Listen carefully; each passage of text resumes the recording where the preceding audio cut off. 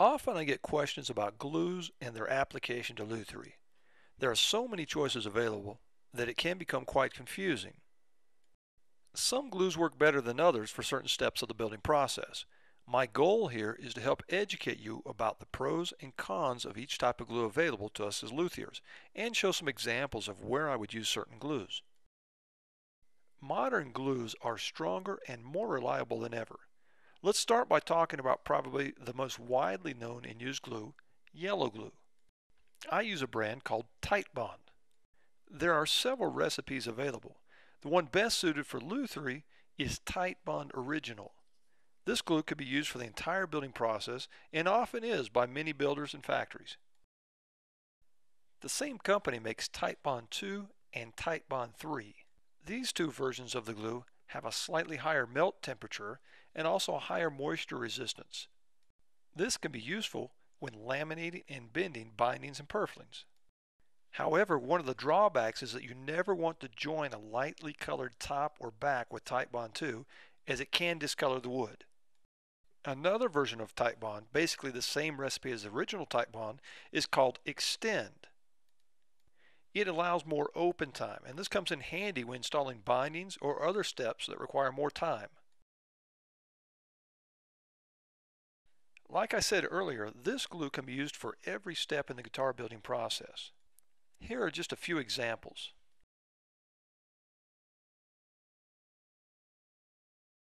As you watch these examples, let me give you some more statistics about this glue. This glue is an aliphatic resin emulsion type glue.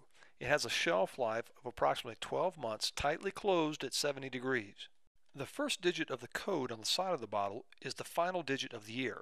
This is followed by a letter indicating the month, A for January, B for February, etc., and I is skipped. Always make sure your glue is fresh. It has an open time of 5 minutes. This is usually enough time for all aspects of the building process. If you feel you need more time, you might consider the extend version, which gives you 15 minutes of open work time. It also dries quickly, thus requiring less clamping time. The minimum working temperature is 50 degrees, and you can clean it up when it's wet with a moist rag. After it dries, it must be scraped. A good substitute for yellow glue is the LMI Instrument Maker's Glue.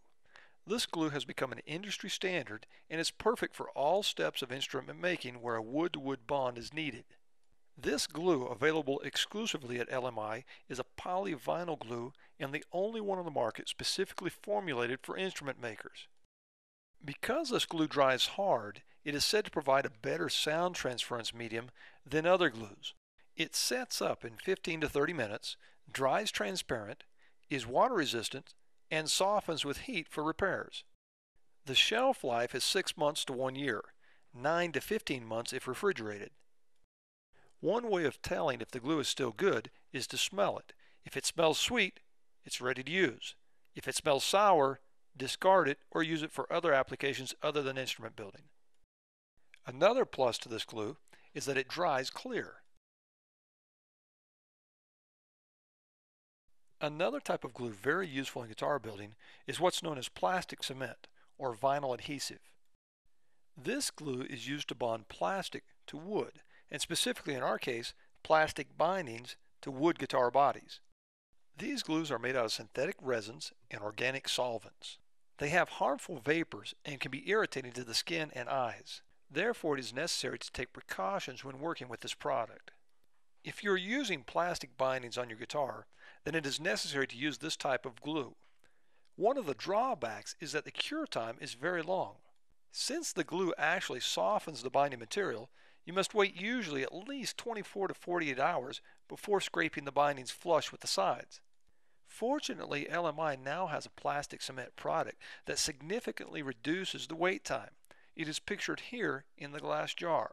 It has a fast tack, sets up quickly, and produces less fumes than similar products. You can even use it on oily exotics like Cocobolo with good adhesion. Speaking of oily exotics, Epoxy is the glue of choice when working with woods like cocobolo or teak that have a high oil content. Some builders wipe the oily wood with acetone to remove the oil before gluing, and then use regular wood glue or LMI instrument maker's glue. However, all it would take is one joint failure to make you wish you had used a glue specifically formulated for oily woods. To use this glue, put one part resin and one part hardener in equal amounts in a container. Then mix the two together thoroughly. After mixing, let it sit for a few minutes and then apply it to the pieces you want to glue together. A little bit of this stuff goes a long way, so mix in small amounts and apply it sparingly to the pieces you want to glue together. This glue can be used everywhere you need to glue oily woods together or where you need to glue things like kerfing and end blocks to oily woods. It will also give you the peace of mind knowing that the joint won't fail due to the oil content in the wood. Some advantages of this epoxy are the one-to-one mix ratio by volume is very forgiving. It has a two-hour pot life at 70 degrees Fahrenheit after mixing, and it cures fully in 24 hours. It is also workable and curable below 28 degrees Fahrenheit, which can come in handy if your workshop is in a freezer. Another brand of epoxy is a brand called West System. It comes in containers with convenient pumps to help you get the correct mix ratio of hardener to resin. Be sure and mix it thoroughly, and I also add a filler to get the desired consistency that I need for the task at hand. A good place to use this glue is when gluing the fretboard to the neck. By doing this, you are not introducing moisture into the neck and fretboard during the gluing process. Moisture can cause a back bow in the neck and fretboard. Apply glue to both pieces to be joined and then apply clamping pressure. Some builders even use epoxies as pore fillers, but that's a different subject for a different day. In this video I have discussed yellow glue, LMI Instrument Maker's glue, plastic cement and vinyl adhesive, and epoxies. In part 2 of this Tips du Jour video about glues, I will address polyurethane glue, cyanoacrylate glue, also commonly known as superglue, as well as hide glue and fish glue.